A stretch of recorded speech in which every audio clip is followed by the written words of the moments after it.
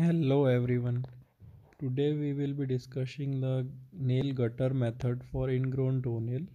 A patient with ingrown toenail in early inflammation or early abscess stage comes to us then it can be managed very well with gutter method where we can save the nail.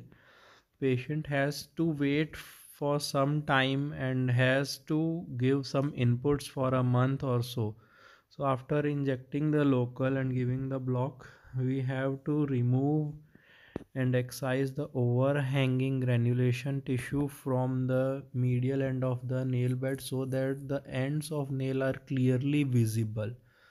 So here now we are dissecting out the grown overgrown part of the skin and granulation tissue uh, just take a 15 number blade and with the help of a forceps dissect out the tissues that are overhanging the nail margins. Uh, you must ensure that you see the nail ends very clearly otherwise the gutter method won't succeed. Once you have done away with this just press it for a minute so that there is no further bleeding and all overhanging issues uh, tissues must be removed from the site. Uh, the patient should rest and relax. There usually is no such pain.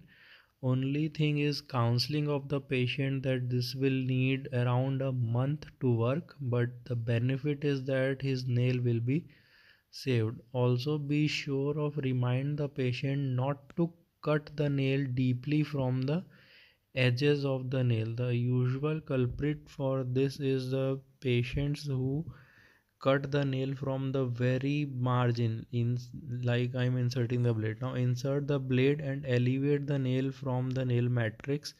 This is the place where on day one you have to insert a gauze as a gutter. So we simply elevate the nail from its nail bed so that the skin tissues don't overhang over the nail.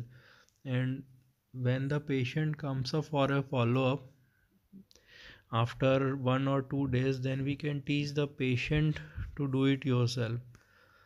So now the patient has come for a follow-up. After a day we have to use an IV line where we will measure the length of the nail then cut the IV line and use the cut end of the IV line from the middle. So the IV line will open up like this.